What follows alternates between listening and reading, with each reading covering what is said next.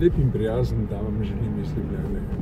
Tukaj bomo pokazali eno trinek iz globalnega središča BTC.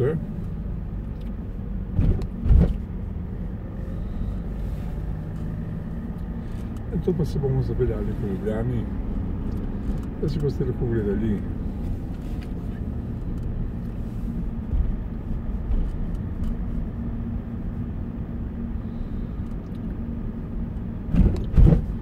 stanje prometa in seveda tudi utrinke mesta nedeljo 14. oktobra.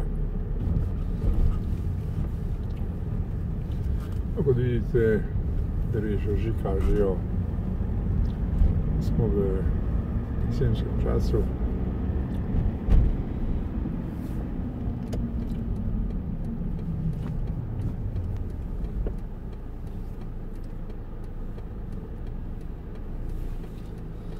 To pomeni, da bo potrebno se počasi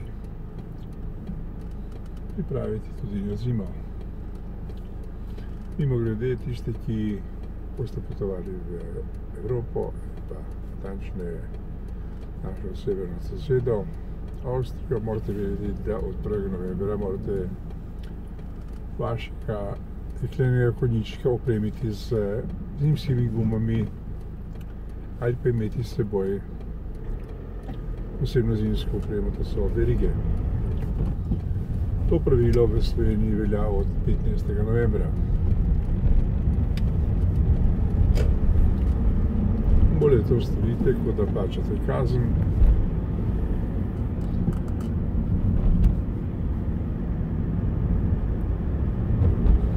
Ker kot vemo, policija v teh dneh, ne glede na to, stavka ne bo prijazna do vas, vas ne bo pominjala, ampak kaznovala.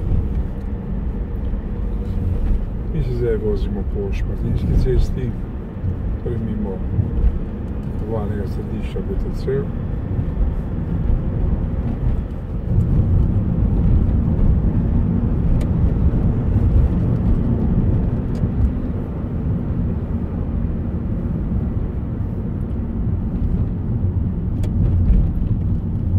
In zdaj ne bomo zavili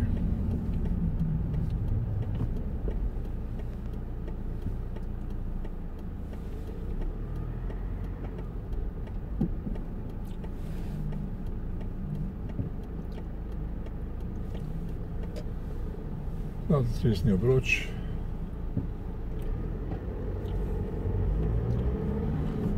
Ki pelje v tem trenutku proti Kranju oziroma Avstriji.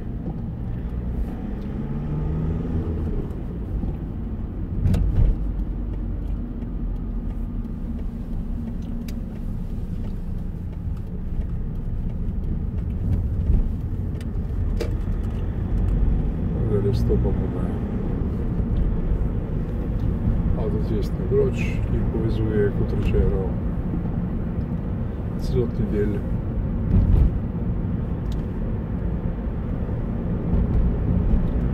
glavnega mesta z dvopasovnico, čeprav ta postaja že ozko grlo in bi bilo potrebno razmišljati celo o tropasovnici.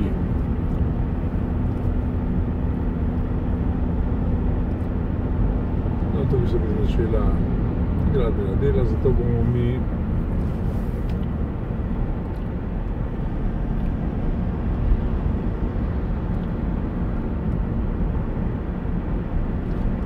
avto zavrstili čim prej, sicer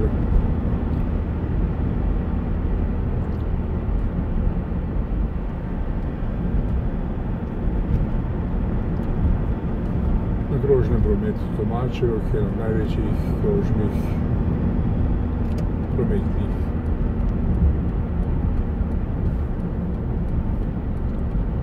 obročev v Ljubljani.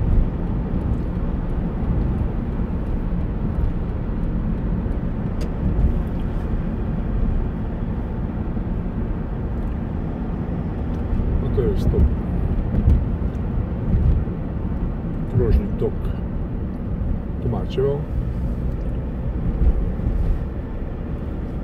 preko katerega bomo vstopili v področje pozovalne ceste Bežigrad, center Ljubljana.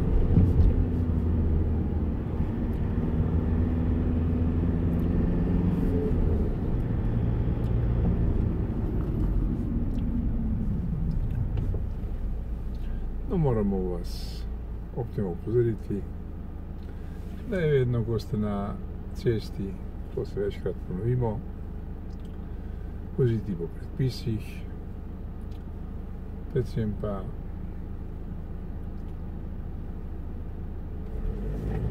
z resnim pogledom, kakšno je stanje na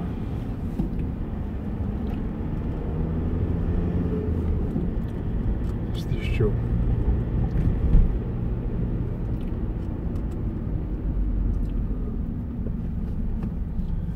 Mi bomo izstopili iz krožnega prometa Tomačevo in se po tako imenovani Štajerski cesti, ki se hoteli pomenovati Vititova cesta, pa je to ustavno sodišče povedalo, namenili proti središču Ljubljane.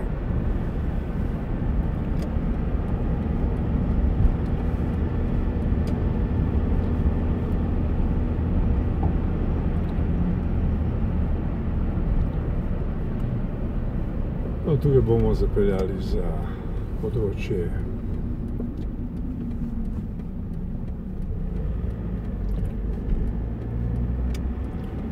povezuje ta krožni tok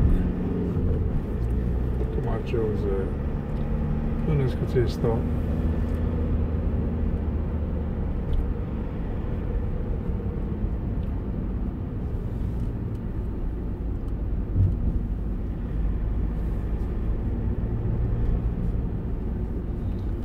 No in ta cesta, ki je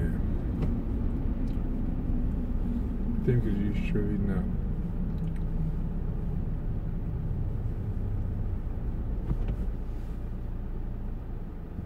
Vojkova cesta,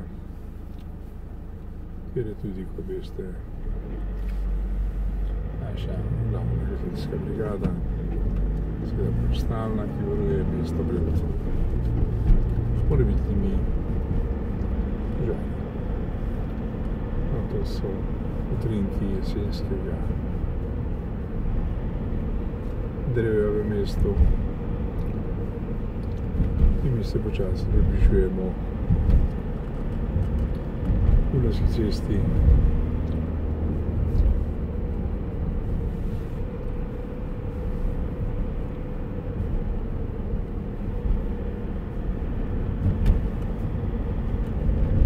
To je tukaj. In tukaj bomo stopili na Dunajsko cesto proti centru mesta.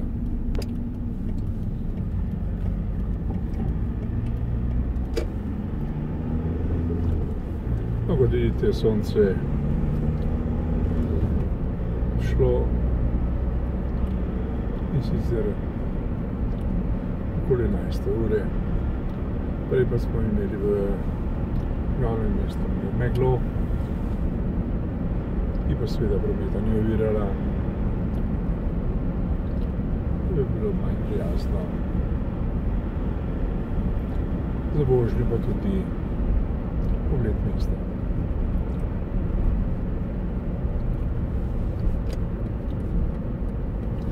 No, tukaj na desni strani boste videli znameniti Plečnikov stadion, ki že leta leta razpada, zato ker v bistvu se ne znajo dogovoriti prebivalci sosednjih blokov in pa seveda novi lastnik stadiona. Kako bi se lotili prenove in dograditve tega področja.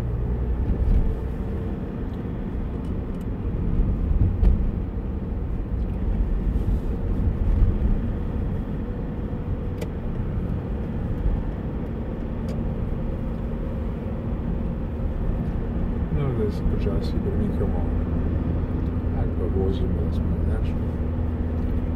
Po Dunajski cesti proti centru mesta.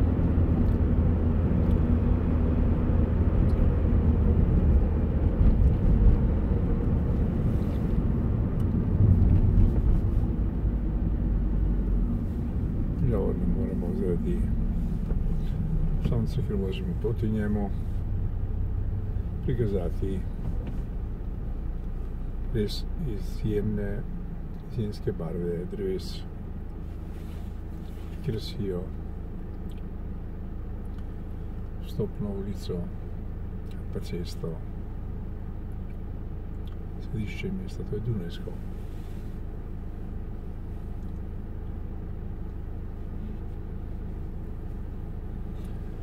Malo je zanimivo to, da v bistvu štiri glavne ceste, Dunajska cesta, Žaška cesta, pelje proti Kopru, Celovška cesta, ki pelje proti Jesenicam in naprej Beljaku in Celovcu. Nosijo imena tujih krajev kot osnovo povezave, in imena. Edina cesta, ki nosi naziv slovenskega kraja, to je Dolenjska cesta, ta je, povezuje cestri središče mesta z cesto, s katero sta povezani s Kočevjem, oziroma z novim mestom, ter na to sosednjo Hrvaško. Naravnost vidite Novotel Interkontinental. Veliko je zasedno, žal ne znamo povedati, pravijo pa, da je lepo, recimo, da je. V tem delu naravnost vidite obnovo ceste. Pred volitvami je se župan lotil obnove Gosposvetske in tudi Dalmatinove ceste, ki pa jo je gradbeno podjetje, ki je to izvajalo. Če smo zelo prijazni, naredilo poprečno dobro. Poprečno dobro kateri bi uporabili drugi izraz, ki ga mi ne bomo tokrat, da ne bodo rekel, da smo se osredotočili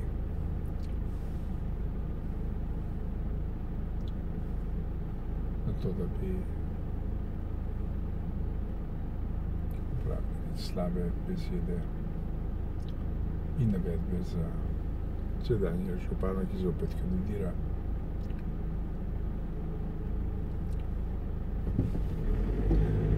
Zmagal, lahko zmagal. To je stalo tukaj živečega prebivalstva. Mi ne sodimo meni, tako da v bistvu za nas vseeno lahko zmagal Jankovič, kdo drug.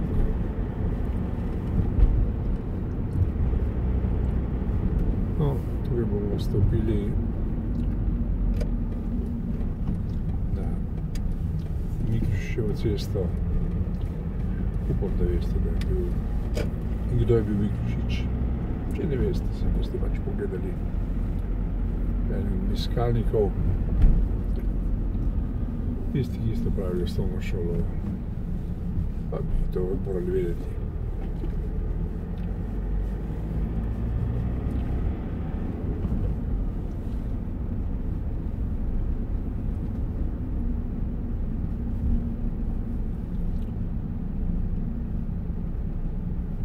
No. Tu morate biti vedno previdni, ko ste po mestu, namreč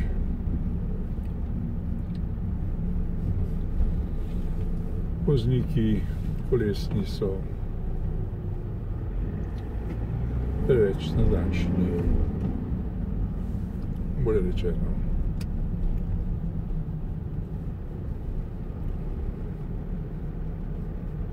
Nekateri prav primeroma kršijo predpise ampak zato so plačali drugi, ki to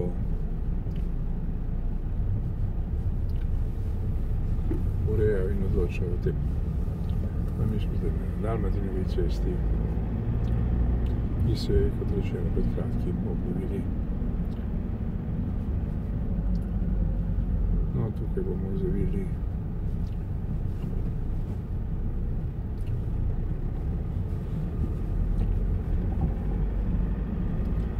Polodorsko cesto. Zdaj se zdaj vidite RTV Slovenija, na levi strani Radio Slovenija. Ravno zdaj praznujete 60 oziroma 90 let. Televizija 60, radio 90, pa smo natančni, veste točno to.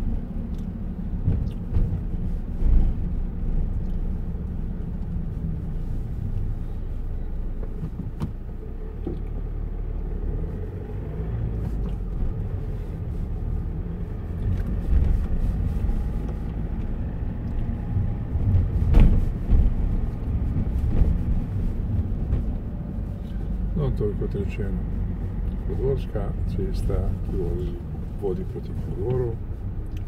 Mi pa se bomo tukaj zapeljali v Slomškovo cesto. Dobil Slomšek, boste prav tako pogledali. Iskalnik in se seznanili s tem, da je bil ta mož ki je pomenil slovenskemu narodu na določen določo nekaj.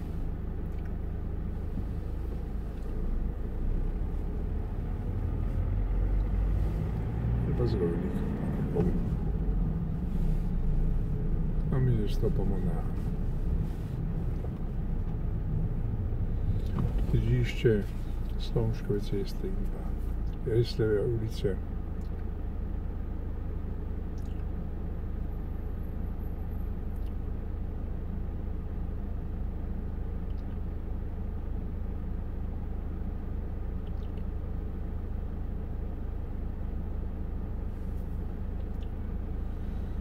Da ste videli, da smo voznika pred seboj pustili, da je zapustil parkirno mesto. Na mesto je staro. Kulture. In prav da se tudi mi tako obnašamo. No, zdaj zavijamo na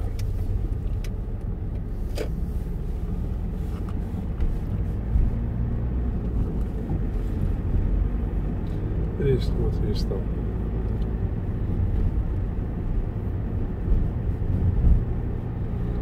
И степенемо проти знаменитому месту, мосту.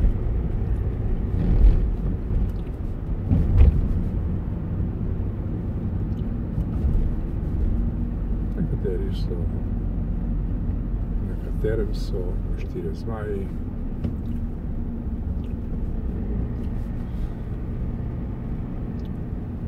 Zgrajen pa je bil davnega leta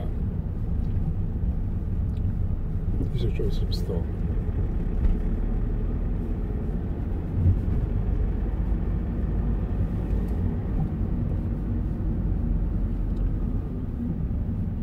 No, danes se bomo pospeli na grad, da vidimo, kako je na gradu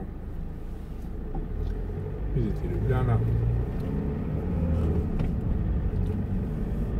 In pa se v tem trenutku vozimo po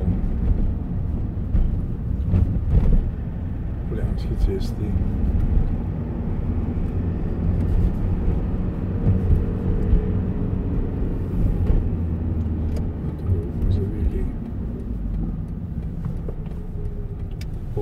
Štrosmerjevi. Štrosmer je, veste, cautious.